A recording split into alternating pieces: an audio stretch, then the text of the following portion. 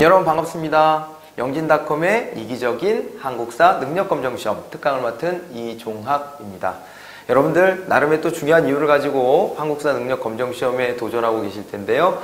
여러분들이 가지고 있는 수험서와 그리고 제 강의가 여러분들 합격에 아, 꼭 많은 보탬이 될 수 있기를 간절히 바래 봅니다. 자, 우리 모든 공부가 다 그렇다시피요. 아, 이 시험을 준비함에 있어서는 내용에 대한 철저한 이해가 아주 절실합니다. 자, 그래서 어, 여러분들이 이제 문제로 들어가기에 앞서 가지고 어, 내용을 충분히 이해할 수 있도록 뭐 교재도 충실하게 또 나와 있겠지만은 어, 그것을 또 이렇게 말로 한번 어, 풀어서 설명해 드리고자 이 특강이 마련되었습니다. 어, 다만 이 특강에 이 주어진 시간이요. 어, 아주 뭐 충분하지는 않습니다. 자, 그래서 어, 이 특강 안에서는요, 어, 우리 역사에서 가장 중요한 내용들, 그 줄기가 될 만한 사건들을 쭉 한번 훑어보는 그런 시간으로 꾸며 보려고 합니다. 아, 여러분들하고 제가 호흡을 잘 맞춰서 어, 이 내용 이해에 있어서 이 강의가 알차게 좀 채워질 수 있기를 어, 이제 바라면서요, 어, 많이 좀 최선을 다해서 어, 노력해 보도록 하겠습니다. 자, 우리의 역사는요, 일단은 석기 시대 때부터 이 한반도와 주변 지역에 사람들이 살았다라고 전해집니다. 그래서 아, 맨 앞에 아주 쉬운 부분이긴 하죠. 초등학교 때부터 흥미롭게 보셨을 부분일 텐데요. 어, 이 석기 시대 때의 우리의 삶의 모습으로부터 출발해서 한번 오늘날에 이르기까지 쭉 한번 연결해 보도록 하겠습니다. 자, 그럼 지금부터 강의 시작해 보도록 할까요? 자, 어, 구석기의 생활 모습으로 한번 들어가 보도록 하겠습니다. 자, 구석기의 생활 모습이다라고 하면은요, 일단은 도구와 경제, 사회, 주거, 예술 이런 정도를 어, 중요하게 나누어서 좀 보시면 좋겠는데요. 어, 대표적인 도구로는 뗀석기가 있습니다. 뗀석기. 돌에서 돌을 떼어냈다 이런 식의 의미로 받아들이시면 되겠고요. 옛날에 제가 어릴 때 공부할 때는 타제석기 뭐 이런 식의 이름을 붙이기도 했어요. 그러니까 어떤 충격을 가해서 쪼개진 면을 보는데 거기에 이제 날카로운 부분들이 있으면 어, 그것을 이제 도구로 활용했다는 거죠. 자, 무엇보다도 가장 중요한 도구가 바로 여기 나와 있는 주먹도끼가 됩니다. 아, 그러니까 처음에는 말이에요. 이게 어, 기술이 별로 좋지가 못하니까요. 어, 도구를요, 막 나눠서 막 되게 다양하게 어, 내가 원하는 방향대로 가공해서 이렇게 쓰지를 못하고 어, 이렇게 주먹도끼 하나를 가지고 여러 다양한 용도로 사용을 했다. 이렇게 우리가 추정을 하고 있어요. 어, 석기시대다 그랬을 때는 아직 문자가 사용되기 이전의 시기이기 때문에요. 여기에는 많은 유물이나 유적 같은 것들을 통해서 우리가 추론을 해낼 수밖에 없습니다. 그 시대의 사람들이 글자를 썼더라면 보다 더 정확한 역사의 사실들을 알 수 있겠지만 애석하게도 그러지가 못하죠. 이런 시기를 우리가 역사 이전의 단계다 그래서 선사시대라고 하는 것도 알고 계시죠? 자, 이제 역사라고 하는 것은 기록으로 남겨진 시대를 의미하기 때문에요. 선사다 그러면 먼저 선자를 써가지고 기록으로 남기 이전의 사회 이것을 의미한다는 거 좀 기억해 두시면서요. 어, 그때 모습들은 우리가 이렇게 추론을 해보는데 자 이때는 이렇게 뗀석기를 사용해가지고 주먹도끼 하나 가지고 이것도 하고 저것도 하고 뭐 이렇게 살았을 것을 추정하고 있습니다. 중요한 주먹도끼 한번 생각해 놓으시고요. 자 그 다음에 또 핵심적인 것이요. 이때는 식량을 찾아가지고 떠돌이 생활을 합니다. 그것이 이제 어, 온갖 이 짐승들이 살아가는 방식들 있잖아요. 그거랑 인간의 삶도 크게 다르지 않았다는 것을 보여주는 것이거든요. 어, 먹을 것이 부족했고요. 직접 생산에 이르지는 못했던 시기였기 때문에 어, 사냥을 하러 나간다든가 채집이나 고기잡이, 낚시 같은 것들을 할 수밖에 없었습니다. 그런데 이런 것들은 한 군데에서 지속적으로 이렇게 충분히 공급되거나 하질 못하잖아요. 그러니까 자꾸만 이동을 해가면서 식량이 많은 곳을 찾아 헤맬 수밖에 없었죠.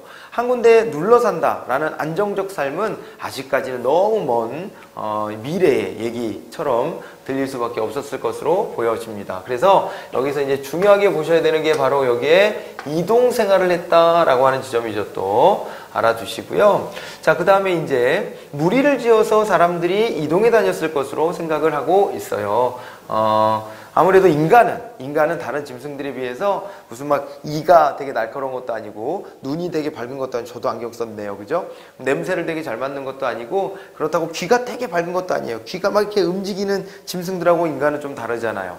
아직까지도 귀가 움직이는 분들이 있으면 그분들은 진화 단계로 봤을 때 좀 늦는 거라고는 하대요. 네, 아무튼 간에 옛날에는 인간들도 그래서 온갖 신경을 다 써가지고 나름 귀도 좀 움직일 줄 알고 그 다음에 또 이렇게 긴장 상태로 이렇게 항상 지낼 수도 있, 지내게 되어 있었고 뭐 이렇다는 것인데 어, 그렇다는 것인데 그래봐야 그래봐야 이 힘센 동물들 발이 빠른 동물들 또 그 다음에 이런 어떤 지각 능력이 굉장히 발달돼 있는 그러니까 이제 생각하는 능력은 좀 떨어지겠지만은 그 뭐라 그럴까요? 이게 어, 시각이라든가 후각이라든가 청각 청각이라든가 이런 게 발달되어 있는 다른 짐승들에 비해서 인간은 굉장히 나약한 존재일 수밖에 없는 거잖아요. 그러다 보니까는요, 음, 어쩔 수 없이, 어쩔 수 없이 인간들은요, 무리를 지어서 생활하게 됐을 거고요. 어, 그런데 이 무리를 지어서 생활할 때 많으면 수백 명의 이 무리들이 한꺼번에 이동해 다니지 않았을 까 이렇게 추정을 합니다만은, 어, 경험이 매우 중요했을 거예요. 오늘날에는 가면 갈수록 노인들에 대한 기대감 같은 것들이 좀 줄어드는 것이 현실입니다. 세상의 변화 속도가 굉장히 빨라지면은 어쩔 수 없이 어 이제 새로운 것들을 많이 익히는 사람들이 주도권을 갖게 돼요. 그런데 과거의 모습을 보면 그때는요 아무래도 이 돌발 변수에 대해서 유연하게 대처할 수 있는 사람이 필요하지 않았을까요? 이제 그런 사람들은 대체로 보면은 이 경험 많은 연장자였을 것이다 이렇게 보고 있죠. 그래서 경험 많은 연장자가 이끄는 무리 생활을 했다라고 보시면 되겠고요. 자 그리고 아직까지는 평등한 공동체적 생활을 했다 이렇게 보셔야 될 거예요. 이 무리 안에서 식량을 얻으면 그 식량을 가지고 다 같이 좀 이렇게 나눠 먹는 이런 형태로 생활했을 것으로 추정이 됩니다. 자 그리고 이동해 다니면서도 어, 나름 좀 이렇게 안정적으로 내 몸을 의탁할 수 있는 어, 그 공간들은 필요했을 거예요. 자, 그래서 이게 보면은 동굴이나 바위 그늘 같은데 이런 데들을 많이 좀 찾아다녔을 것으로 보여지고요. 막집 같은 것들을 또 짓고 살았을 것이다라고 봅니다. 막집은 진짜 말 그대로 막집이에요. 막 지은 집이다라고 생각하시면 될 텐데요. 막 지은 집이다라고 하는 것 대충 그냥 어떻게든 이렇게 그냥 어, 며칠 때우고 그 다음에 여기서 다른 곳으로 이동해 갈 때면 이거 버리고 갈 수 있게끔 되어 있는 것을 막집이라고 우리가 이름 붙여 놓은 것입니다. 자, 그 다음에, 야, 인간이라고 하는 것은요, 또 예술적 존재 아니겠어요? 그래가지고 이게 보니까요, 어, 다산과, 다산이면 이제 애를 많이 낳는 것을 의미하겠죠? 사냥감의 번성을 기원하는 주술적 의미의 예술이 시작됐을 것으로 이렇게 어, 추정이 됩니다. 특히 동굴벽화 같은 것들을 통해 가지고 이때 예술 활동이 있었다는 것을 알 수가 있어요. 자, 그래서 구석기 시대의 생활 모습이다라고 하면은 무엇보다도 뗀석기를 썼다. 그리고 이동 생활을 했고 그 내부의 모습들은 평등한 공동체를 이루고 있었을 것이다. 자, 그다음에 주거는 정확한 뭐 주거, 오늘날 같이 제대로 된 집을 짓고 산다거나 이러지는 못했겠지만은 나름의 동굴이나 막집 같은 것들을 이용했을 것으로 보여진다. 자, 우리 유적이나 이런 게 발견되는데도 그런 주변들이기 때문에요. 우리가 이런 추정을 해볼 수가 있습니다. 자, 그 다음에 우리 비교해서요. 신석기 시대의 생활 모습으로 한번 가보도록 하죠. 신석기다 그러면은 이제 그래도 나름의 어, 이 문명의 어떤 나름의 그 뭐라고 그럴까요? 이 발전적인 모습 아직까지는 제대로 된 문명이다라고 말할 수준까지는 사실은 안 되지만 그래도 이렇게 문화의 모습들이 상당히 좀 이제 발전되는 게 있습니다. 특히 자 이 간석기다라고 하는 것과 그 다음에 토기요 그리고 이제 어, 사람들이 정착을 했다 뭐 이런 부분들이 매우 중요한데요. 어, 뭐니 뭐니 해도 이 모든 것들의 핵심에는 농경과 목축의 시작이라고 하는 이 지점이 있습니다. 즉 이 게 의미하는 바가요. 이게 의미하는 바가 기존의 채집 경제였단 말이에요. 구석기 때는 채집하는 경제였다. 그런데 채집 경제에서 이것이 뭐로 바뀌었다? 생산 경제로 바뀌었다는 것입니다. 생산 경제. 자, 그래서 농경과 목축이라고 하는 것이 최초로 시작됐다는 점을 좀 우리가 유념해서 봐야 되고요. 자, 어, 석기를 계속 쓰긴 하는데 석기를 이제는 갈아서 쓰는 정도의 단계까지 발전하게 되었다. 내가 원하는 모양으로 뾰족뾰족하게 만들어 쓸 수 있게 됐다는 점이 중요하고요. 자, 그 다음에요. 정착을 하고 농경과 목축을 시작하고 이렇게 하다 보니까 어, 이제 곡식을 좀 저장해 놓아야 되는 토기의 사용이 시작되었다는 거 매우 중요합니다. 구석기 시대에는 토기라고 하는 것이 없었는데 신석기 시대가 되면 이제 토기가 나타나기 시작하죠. 특히 대표 토기로는 이 빗살무늬 토기를 들 수가 있습니다. 모양 여러분들이 잘 알고 계시죠? 이렇게 오목하게 뾰족한 형태로 되어 있고요. 이 당시 사람들이 살았던 곳이 대체로 강가나 바닷가 같은 곳이었기 때문에 이 어, 그릇을요 좀 잘 세워 놓으려면 이렇게 뾰족하게 해가지고 바닥에다 폭 찔러 놓는 게 가장 유리했기 때문입니다. 자, 그래서 이게 밑에가 뾰족한 형태로 생겨 있는 빗살무늬 두 개 보셨을 텐데 이 빗살은 또 나름의 예술적인 감각을 또 집어넣지 않았겠어요? 그쵸? 그래서 거기다가 빗살도 이렇게 집어넣은 이런 형태의 아, 이 토기를 떠올려 보셔야 되겠습니다. 자, 그리고 의생활도 좀 이제 제대로 시작했다라고 보실 수 있겠는데요. 가락바퀴나 뼈바늘을 이용해서 옷이나 그물을 제작했다라고 하는 부분이 나와 있습니다. 가락바퀴는 실을 뽑는 도구라고 생각하시면 돼요. 그래서 이렇게 돌, 돌멩이 사이에다가 구멍을 어, 내가지고요. 그 사이로 이- 이렇게, 그죠? 실로 쓸만한 것들을 이렇게 쭉쭉 뽑아서 썼다라고 생각하시면 됩니다. 뼈바늘 같은 걸 이용해서 이걸 이제 기워서 이렇게 연결해가지고 옷으로 만들어 썼다라고 보시면 되겠고요. 자, 그리고요. 그리고 경제 생활의 모습을 보면 어, 여전히 사냥이나 채집, 고기잡이를 하기는 합니다. 자, 그리고 후기 정도가 되면 이제 농경과 목축도 시작이 됩니다. 그죠? 그런데 이때 농경과 목축이 양이 많은 정도로 이렇게 생산을 할 수 있는 수준은 못 됐을 것으로 보여지기 때문에 여전히 사냥, 채집, 고기잡이도 중요한 어, 이저 생산의 방식이었을 것이다 이렇게 보고 있습니다. 자 또한 이때는요 뭐 쌀을 생산하거나 이러지는 못해요. 자 그래가지고 잡곡류를 생산합니다. 특히 조피 같은 것들이 어, 대표적이다라고 봐두시면 돼요. 자 그리고 이제 사회의 모습을 좀 들여다 볼까요? 사회의 모습을 들여다보면 자 농경이 시작되면서 한 군데 한 군데 머물러서 살게 되는 정착 생활이 시작됐다라고 했습니다. 이 정착 생활을 주목해서 보셔야 해요. 군데 이제 정착하게 됐다는 것은 인간에게는요, 굉장히 큰이 변화의 모습이라고 생각하시면 돼요.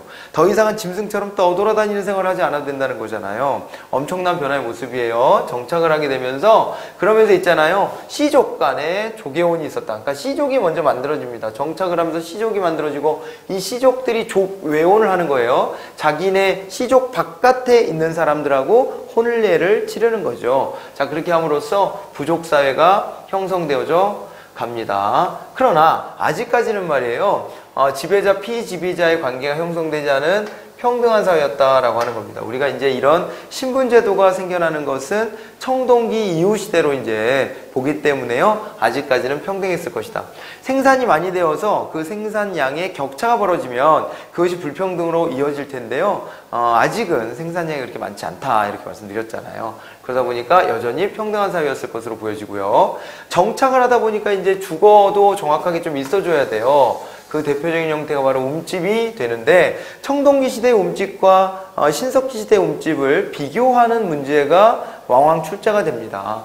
좀 알아두셔야 될 텐데요. 원형이나 모서리가 둥근 바닥, 사각형의 바닥이다 이렇게 돼 있어요. 아무래도 좀 둥그스름한 형태에 가깝다 이렇게 좀 보시면 좋겠고요. 그 다음에 불을 관리하는 능력이 어, 여전히 좀 미흡했기 때문에 어, 어쩔 수 없이 이제 그 온도를 유지하기 위해서는 화덕을 설치를 하되 기술이 아직 좋지 못해서 어, 집의 가운데다가 화덕을 두고 살았다라고 봐두시면 됩니다. 자, 그래서 둥그려, 둥그스름한 형태고요. 반지하 형태로 파고 내려가 있고요. 왜냐면 강가나 바닷가에 처음에는 정착했다 그랬잖아요. 정착을 거기서 하는 이유도 알고 계시죠? 자, 아직은 낚시 같은 것들을 통해서 식량을 좀 충당해야 되기 때문에 불가피하게 이제 어, 이렇게 강가나 바닷가에 주로 살았다. 어, 그리고 거기가 물을 구하기도 쉽고요. 그 다음에 강이 종종 범람하기 때문에 범람했을 때 비옥한 토지가 또 만들어지거든요. 그래서 처음에 거기 살았습니다만은 어, 거기에 이제 단점들이 좀 있습니다. 엄청나게 춥죠.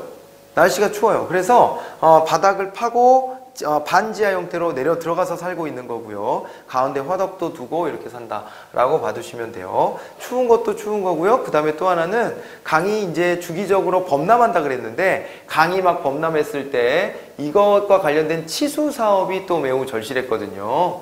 이제 그런 부분들. 그러니까 이게 치수 사업을 제대로 하지 못하면은 지금 농사 열심히 짓던 것 한꺼번에 그냥 다 아, 휩쓸려 내려가 버리고 이런 일들이 많이 있었을 것으로 보여지죠.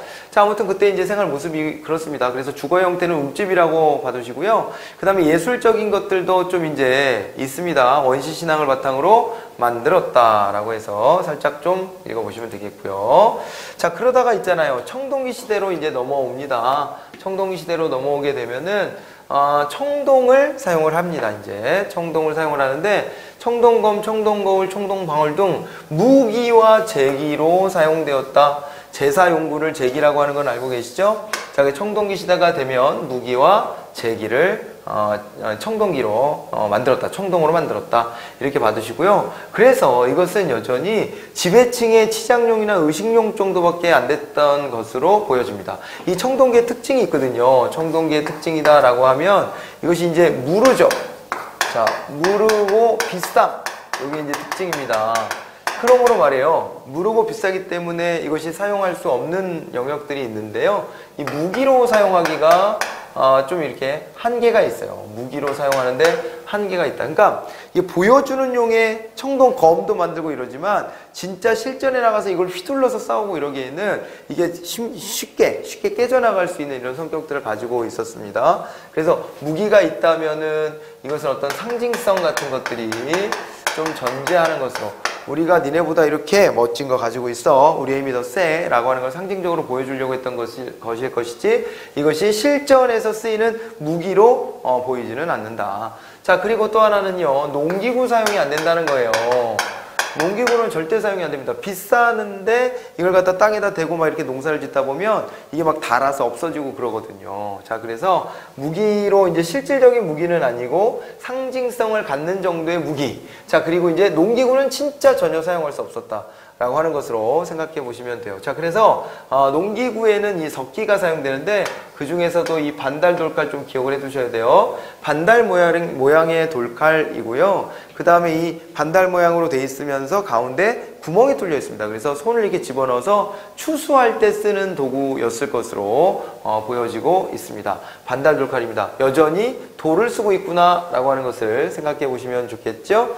자, 그 다음에요. 토기도 있는데요. 어, 토기는 청동기 시대는 민무늬 토기가 대표 토기가 됩니다. 미송이식 토기 같은 경우에는 고조선의 세력 범위 같은 걸 보여주기도 하고 그래서 굉장히 중요하게 보고요. 미송이식 토기라고 하는 게 이제 발견된 지역 이름을 따서 그런 거잖아요. 그래서 아, 아래가 이제 평평하고 그 다음에 이렇게 둥그스름하다가 이렇게 움푹 어, 주둥이 근처에서 움푹 이렇게 들어가기도 하고요. 손잡이도 달려 있고 뭐 이런 것들이 이제 특징을 갖는 게 바로 미송이식 토기고요. 어, 그러나 대표 토기로는 민무늬 토기를 주로 사용했었다라고 정리해 두시면 좋겠네요. 자, 그리고 이제 신석기 때 시작됐던 농경이 보다 더 발달하게 됩니다. 신석기 시대 때부터 농사를 짓기 시작했으니까 시간이 좀 많이 갔잖아요. 그러다 보니까 아무래도 어, 농경 생활의 이, 이 형태들도 보다도 좀 깊이가 있어졌을 것으로 보여지고요. 밭농사가 여전히 중심이긴 합니다만은 일부 저습지, 이제 물이 많이 필요한 거니까 벼는 일부 저습지에서 벼농사가 시작됐다 이렇게 또 정리를 해보실 수가 있겠네요. 자 그리고 이제 사회의 모습을 보면은요. 어, 이제 드디어 계급이 생겨 이게 좋은 건 아니지만은 이 계급이 생겼다는 것에 이제 주목을 해보셔야 되는 겁니다. 생산력이 증대해서 잉여 생산물이 발생했다. 그러니까 먹고 남는 것들이 있고 이것을 비축해 놓는 사람들이 생겨난 거죠. 자 그러다 보니까 사유재산으로 인해서 계급 분화가 되었고 이 계급 분화의 대표 상징적인 유물이 바로 이제 고인돌이 됩니다. 고인돌 같은 경우에는 어, 그 돌을 옮겨다가 무덤으로 만들기에 어, 이게 한두 명의 힘으로 되는 게 아니잖아요. 많은 사람들이 동원됐을 것이고 그렇다면 많은 사람들이 동원됐다는 것은 이거는 족장과 같은 어, 사람들 있잖아요. 신분제도화에서 위에 신분에 해당되는 사람들의 무덤이었을 것으로 어, 생각을 해볼 수가 있습니다. 그래서 고인돌 같은 것들이 만들어진 것을 통해서 우리가 이제 계급의 분화의 모습도 확인 가능합니다. 자 그리고 이제 국가가 등장했다는 것도 중요하게 보셔야 되겠지요. 부족 국가가 등장했다라고 하는 겁니다. 국가가 등장했다라고 하는 것이고요. 국가 형태인데 활발한 정복 활동이 벌어지기 시작했고 선민 사상 뭔지 알죠? 선민 사상 야 우리가 말이야 하늘에서 내려온 종족이야 뭐 이렇게 이제 말하면서 정치적인 어, 권위를 막 찾아가려고 했던 겁니다. 그래서 하늘에서 내려왔다라는 선민사상 이런 것들을 가지고 있었고요. 선민사상을 통해 지배자가 등장했다라고 봐두시면 되겠습니다. 자 그리고 남녀 역할의 분화도 이때부터 일어났을 것으로 보여지고요. 가부장적 사회가 성립되었다라고 정리를 좀 해보시면 좋겠습니다. 남녀 역할이 분화됐습니다. 남성은 수렵, 농사, 전쟁 등 바깥 일에 종사를 하고 여성은 주로 집안일을 담당하기 시작했다. 벼농사가 시작됐고요. 이렇게 이제 육체 노동 중심으로 육체인 고된 이 육체 노동이 이제 필요로 하는 이런 단계로 가게 되면은 아무래도 이제 어쩔 수 없이 남성들이 그 생산에 보다 더 많이 종사를 하게 되고요. 그러면서 여성들을 좀 이렇게 어? 아, 남자들의 일을 좀 지원해주는 정도로 이렇게 좀 밀어내는 경향이 생기죠. 동서양을 막론하고 이 남녀 역할의 분화에서는 여성에 대한 억압이 상당 부분 좀 생겨났었다 이렇게 하는 것을 어, 또 알아두시면 되겠습니다. 자 주거의 형태는 여전히 이제 움집 같은 거에 사는데 사는 위치가 좀 달라져요 이제. 사는 위치가 좀 달라집니다. 강가나 바닷가 이런 데서 무조건 살고 있는 게 아니라 이제는 물을 관리할 수 있는 능력도 좀 좋아졌고 해서요. 어, 물을 땡겨다가 농사 짓는 기술도 좋아지고 해서 이제 무턱대고 강가나 바닷가에 살 필요가 없었죠. 또한 낚시 같은 것들이 필요해서 강가나 바닷가에 산다고 했는데 이 낚시 같은 경우도 어, 이제는 어, 좀 줄여도 이제 먹고 살 수 있는 정도의 능력이 됐다. 아이 물론 먹고 산다는 게 사실은 우리나라도 1970년대 초반까지도 보릿고개라는 게 있었단 말이에요. 그러니까 먹고 사는 게 예전보다 좋아졌다는 얘기를 청동시대 때도 하는 것이지 이것이 엄청나게 많은 생산력 향상이 있어가지고 이제는 먹고 사는 게 아무런 하등의 지장이 없고 막 이렇게 됐던 것이라고 볼 수는 없는 겁니다. 예, 그렇지만은 상대적인 비교를 통해서 좀 어, 느낌을 좀 가져가셨으면 좋겠고요. 어, 그래서 이제 그러다 보니까 아무튼간에 강가나 바닷가에 계속 사는 것이 아니라 자 구릉 지역으로 이제 올라가게 되는 거죠. 그러다 보니까 배산 임수가 있는 거예요. 배산 임수라고 하는 것은 뒤에 산이 이렇게 있고요. 여기 북, 북쪽에서 바람이 불어오잖아요. 겨울철에 북풍이 불어오는데 이걸 막아줄 수 있는 배산 임수 지역이에요. 뒤로는 산이 배경처럼 되어 있고 마을들이 이렇게 이제 형성이 되는 거죠. 형성이 되고 앞으로는 이렇게 강이 흘러가는 거 이런 정도 되면은 여기서 이제 농사 짓고 살기가 좋아지는 거죠. 그리고 강가나 바닷가에 살 때보다는 추위를 좀 이제 막을 수 있게 되면서 그러면서 이제 움집이요 지상가옥으로 변화가 됐다. 아, 그리고 직사각형 형태로 좀 넓어집니다. 커지고요. 화벽도 한쪽 구석으로 옮겨져 가요. 화덕이 집안 가운데 있다는 것은 굉장히 좀 위험 요소들도 되기도 하는 거잖아요. 그래서 화덕을 어 이제 벽면으로 이동도 하고요. 어 그렇게 했다라고 하, 어 하는 겁니다. 그리고 예술적인 거 보면은 어 이 제사장이나 족장이 청동 제품을 활용했다라고 하는 게 나와 있죠. 그렇죠? 자, 그리고 울주 반구대 그림이라든가 고령 장길이 바위 그림 같은 거 있죠. 이런 것도 좀 중요하게 보셔야 돼요. 그래서 예술적으로 봤을 때에도 울주 반구대 그림 같은 것들이 사냥과 고기잡이의 성공을 기원하는 이런 측면들을 안고 있었다는 겁니다. 예술적인 것들도 발달하게 됐다는 것 주목해서 보시기 바랍니다. 자, 그러면서 이제 철기시대가 등장을 해요. 철기시대가 등장을 하는데 자, 보니까 철제 농기구를 사용했다라는 부분이 있네요. 도구로는 철제 농기구를 사용했다. 이제는요, 이게 이제 매우 중요합니다. 그러니까 아까 제가 그런 말씀 드렸잖아요. 농기구로 쓰거나 진짜 실전에 쓸 무기로는 청동이 좀 어울리지 않는다. 청동은 구리와 주석이 합금이잖아요. 그래서 이 가격 자체가 비싸요. 구리가 금은 동메달 할 때 동이잖아요. 가격이 매우 비싸고 마음대로 쓰기가 좀 어려웠다. 굉장히 무르기도 하고 아, 그렇다. 특성이 그렇다라고 이제 말씀드렸었는데 이 철제 농기구와 그 다음에 철제 무기 같은 것들을 이제 사용하게 됐다는 것이 인류 문명에서 굉장히 큰 전환점이 되는 거예요. 예전에 포스코 어, 그룹에서 자기네들 선전을 할 때 광고할 때 철이 세상을 바꿉니다. 그렇게 광고한 적이 있거든요. 그건 진짜 사실관계죠. 진짜 철이라고 하는 게 만들어지면서 농기구가 철로 이제 이용이 됐으니까 돌로 농사 짓는 걸 상상만 해봐도 너무 힘들 것 같지 않아요? 이런 부분들이 철제로 바뀌면서 생산성이 무지막지하게 좋아졌다라고 하는 점을 떠올려 보실 수 있겠고요. 그 다음에 이제 철제 무기가 등장했기 때문에 아, 이 무기의 측면에서도 이게 완전 최신식 무기, 요즘으로 보면 핵, 핵무기죠, 핵무기 거의. 핵무기 수준이죠. 아, 그렇게 비유해봐도 좋지 않을까 싶어요. 그때는 철제 무기를 쓰느냐 못 쓰느냐가 전쟁 수행 능력에서의 그 이제 이 격차를 가늠하는 기준이었을 것으로 보여지잖아요. 자, 그러면서 청동 제품도 쓰긴 쓰는데 청동 거울이나 청동 방울 등 의식용 도구로만 한정되어져 갔고요. 그 다음에 한반도의 독자적 청동기 문화가 형성이 됩니다. 원래는 동검이 있으면 비파형 동검이라고 하는 거예요. 이렇게 넓게 비파 모양을 하고 있는 동검인데요. 이것이 세형 동검으로 바뀝니다. 세형 동검 바뀌는데 얘 중요합니다. 한반도에 독자적 청동 문화가 있었다는 점 시험에 잘 물어보거든요. 자, 그래서 이제 세용 동검인데 여기서 세자는 가느다랄 세자인 거 아시죠? 가느다랄 세자. 자, 그래서 얇게 생긴 이 청동검이 만들어지고요. 그 다음에 이제 잔무늬 거울도 있고요. 잔무늬 거울은 이제 거친 무늬 거울에 대비해서 보는 거예요. 청동기 시대에는 거친 무늬 거울이 있었는데 우리는 잔무늬 거울로 발전시켜 갔다. 그 다음에 거푸집이라고 하는 게 뭐예요? 거푸집이라고 하는 애가 얘가 바로 이제 예, 거푸집이 청동을 찍어내기 위한 도구죠. 네, 그 제작 틀이에요. 거푸집. 여기다가 청동 이 물을 부으면 그러면 이제 그 원했던 모양으로 어, 나타나게 되는 거죠. 자, 그런데 여러분들 이것도 알고 계시죠? 청동을 철기보다 더 앞선 시점에서 쓰게 되었던 이유가 있습니다. 자, 그 이유는 녹는 점이 낮아서 그래요. 그러니까 거푸집 같은 데다가 녹여가지고 이렇게 금속인데 녹여서 거기다가 집어넣어서 그 틀 속에 넣어서 모양을 만들어내야 될 거잖아요. 자, 그런데 말입니다. 그런데, 어, 요게 이제, 어, 철기 같은 경우에는, 철 같은 경우에는 청동보다도 녹는 점이 매우 높은 거예요.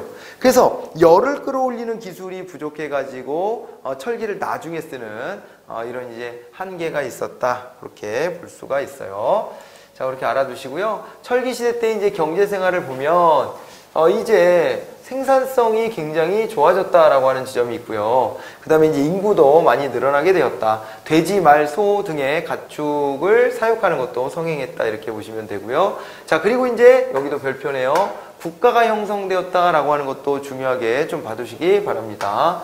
최초로 이제 국가도 만들어진다. 그러니까 경제력이 좋아지고 이 경제력을 바탕으로 다른 부족들 막 쳐들어가고 그 다음에 또 더 큰 경제력을 얻기 위해서 그들하고 병합하고 막 이렇게 하니까 아, 그러다 보니까 이제 국가라고 하는 단위가 최초로 생겨났다. 자, 아까 사유재산 제도도 생겨났다 그랬는데요. 이 국가도 이제 어, 청동기 어, 시대, 철기 시대로 넘어오면서 어, 점차 좀 더 이제 다듬어지는 모습을 보이게 되었다 이렇게 보시면 되겠습니다. 다시 한번요. 청동기 때부터의 모습이고 지금 철기 얘기하는데 요 얘기가 나온 것은요. 그것이 조금 더 어, 이제 체계적으로 진행되었다. 라고 하는 것, 국가라고 하는 것이 딱 만들어지고 이것이 규모가 점점 커지는 이런 시기가 철기니까 이렇게 연결되는 거고요. 청동기 때부터 다시 한번요. 사유재산 제도도 생기고 그 다음에 그 안에서 국가도 만들어지고 했다. 자 그런데 철기 시대는 그것이 한 발 더 깊게 들어가는 이런 양상이었을 것이기 때문에 여기서도 국가 형성이다 이런 말을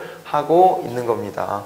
자 그래서 이렇게 우리가 이제 어, 철기 시대 때까지의 주 특성들을 살펴두셔야 되겠고요. 비교를 좀 잘 해두시기 바라겠습니다. 자, 그 다음에는 이제 고조선의 건국이 나오게 되는데요. 고조선의 건국은 이제 본격적으로 한반도에서 국가라고 하는 형태가 만들어졌을 때가 됩니다. 그래서 고조선과 철기시대의 모습은 다음 시간에, 아, 철기시대 이제 연맹왕국이죠. 연맹왕국에 대한 모습은 다음 시간에 보도록 하겠습니다. 그 고조선에서부터 쭉 한 방에 연결하면서요. 그 특징들을 좀 비교해 놓으셔야 될 거예요. 자, 첫 시간 어떠셨는지 모르겠습니다. 첫 시간은 아주 간단하게 우리가 이제, 어, 저 철기시대 때까지 구석기에서부터 철기시대까지의 흐름을 한번 쭉 잡아봤어요. 고생들 하셨고요. 다음 시간에 다시 뵙도록 하겠습니다. 수고하셨습니다. 안녕히 계세요.